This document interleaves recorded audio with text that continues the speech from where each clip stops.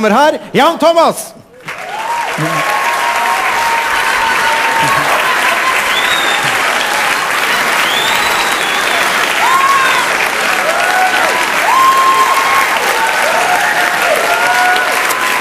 Oh my god.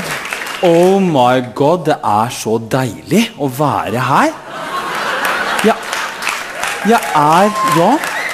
Jeg er altså så glad. Ja, Det syns jo ikke på ansiktet mitt, for jeg klarer jo ikke å smile lenger. Men jeg er altså så glad. Ja, det er så fantastisk å være her på Komiprisen, eller The Comedy Award. Som, som Som de, som de sier der jeg kommer fra, nemlig Skien. For jeg er altså så glad. Jeg er nesten like glad som da jeg fridde til kjæresten min Kristoffer. For det var altså such a magic Hollywood moment. I just got to tell you about it. Klokken var 19, og jeg skulle legge Kristoffer. Og Ja. Hear, hear me out. Og akkurat idet han skulle innta en liten fluortablett, så spurte jeg han om han ville gifte seg med meg, og han sa ja. Og jeg bare Oh my God! Er det mulig? Er det mulig å få en så flott gutt, mann, i Norge? For dere, vi må innse det at i Norge i dag så er det veldig mange som får diagnosen stygg. Det er et problem. Jo. Og, og her må norske myndigheter ta tak tidlig.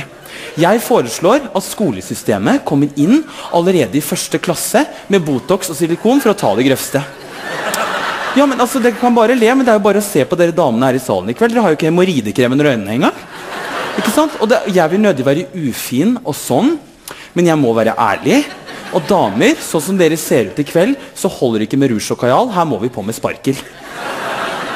Og så litt om dette med kosthold. For dere altså nordmenn vi er så dårlige på kosthold. Altså Jeg har alltid sagt det at det er så viktig å spise riktig.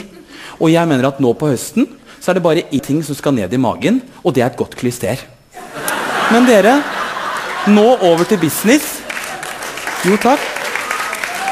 De nominerte i kategorien Best Female Artist er